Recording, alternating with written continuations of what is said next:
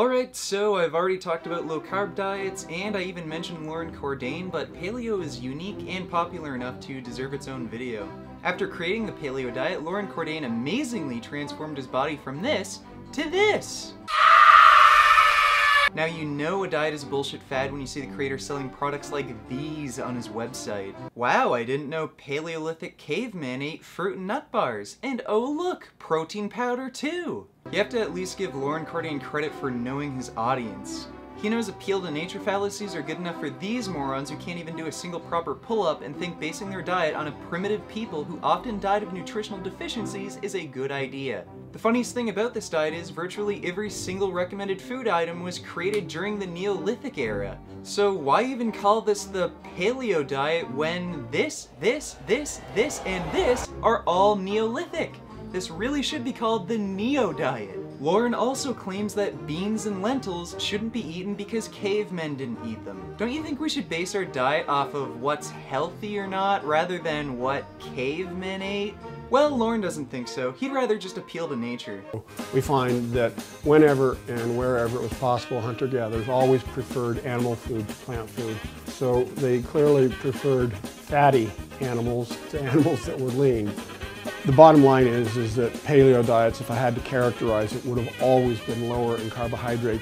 Most of the hunter-gatherer societies, the majority, were consuming higher than 15%. And if you look at the evolutionary record, if you look at hunter-gatherers, there's no vegan or vegetarian hunter-gatherer. So people that don't eat meat won't reproduce. Claims he's a scientist! At its heart, the paleo diet really is just another low-carb diet. But because cholesterol and saturated fat are so well known to cause heart disease, Loren and his caveman friends have to cause confusion about cholesterol in order to sell his diet to you. Saturated fat by itself probably is not problematic. I can assure you there is no confusion whatsoever that saturated fat and cholesterol are responsible for heart disease.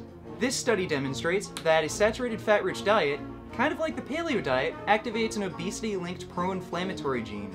This study demonstrates that a high cholesterol diet causes a lipoprotein responsible for cholesterol transport stays in circulation longer where it's more susceptible to oxidation and cause inflammation. Now, this study demonstrates that rapeseed oil, which is high in monounsaturated fat and free of cholesterol, does not increase LDL and does not increase oxidized LDL, whereas butter, which is high in cholesterol and saturated fat, does increase LDL and oxidized LDL. So batter would be almost okay?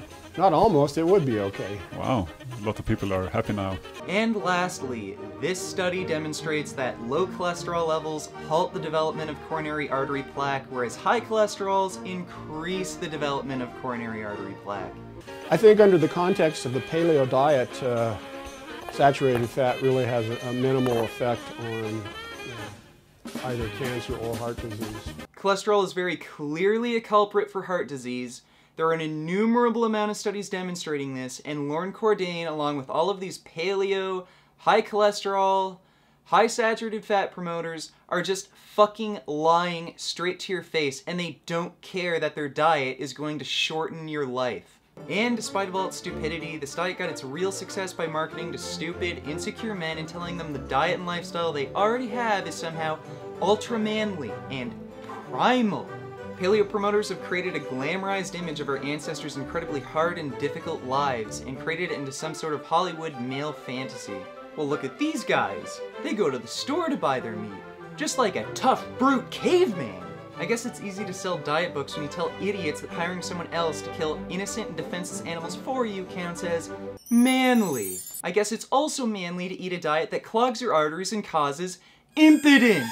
Yes, that's right. High cholesterol and saturated fat diets, which I just explained cause heart disease, also cause impotence due to restricting blood flow. But why would you need an erection when you could just be on the bottom? And to go along with your impotence, why don't you inject some steroids so as to completely destroy your body's testosterone production? Because according to Mark Sisson, that's primal! Yeah, all these vegans who don't support the slaughter of innocent animals and can actually get an erection when in front of the woman are definitely the Sissies?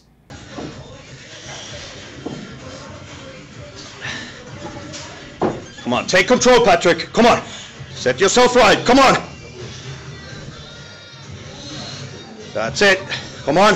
Sit into it. and explode up. Drive! That's it! Paleo! Because impotence not being able to do a single pull-up and going to the grocery store is the pinnacle of manliness. So yeah, that's paleo for you, just another stupid fad made up by a fat pathetic man who wants to encourage diet-related diseases and animal suffering in favor of money.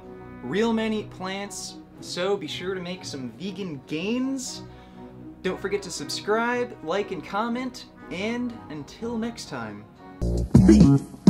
What a relief. When will this poisonous product cease? This is another public service announcement. You can believe it or you can doubt it. Let us begin now with the cow. The way it gets to your plate and how.